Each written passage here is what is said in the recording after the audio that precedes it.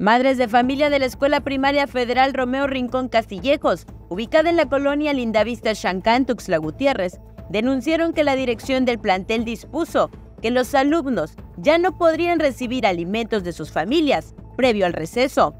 Esta disposición afecta a aquellos alumnos que por cuestiones económicas no pueden llevar recursos para comprar alimentos dentro de la institución. A mí me afecta lo que está pasando ahorita en cuestión de los desayunos, porque tengo dos niños, a mis hijos, yo trabajo y como yo, muchas mamás también trabajamos. Entonces, yo por mi trabajo veo a mis hijos dos, tres horas en el día, este, hora y media en la mañana, mucho una hora en la tarde, porque pues trabajo en la tarde. Entonces, por lo menos quiero tener el detalle de traerles a las 11 de la mañana sus desayunos calientes a mis hijos pero con esto de que la directora pues quiere cerrar el portón y no quiere este, permitir que los niños desayunen a las 11, este, sí me afecta. De hecho, a mis hijos ya los dejaron sin desayunar. Les, mi hijo mayor les trajo su desayuno porque trabajé en la mañana y no le permitieron que mis hijos recibieran el desayuno.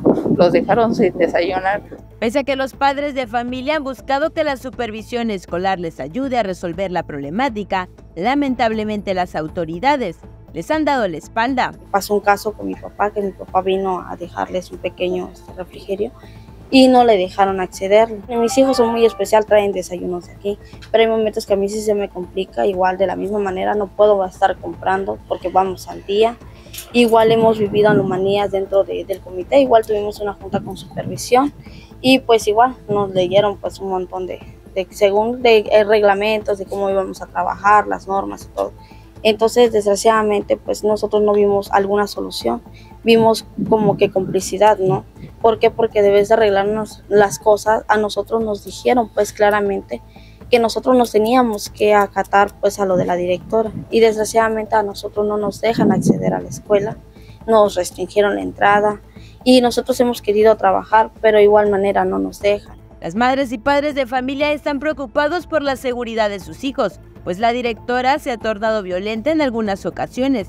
Además, temen que por la falta de alimento los menores puedan tener afectaciones en la salud. Pues un detalle de que pues un vendedor ambulante estaba vendiendo a la hora de receso aquí. Eso fue el, primer detalle que que para que nosotros nos restringieran los desayunos. El, señor recibió agresividad verbalmente por la directora.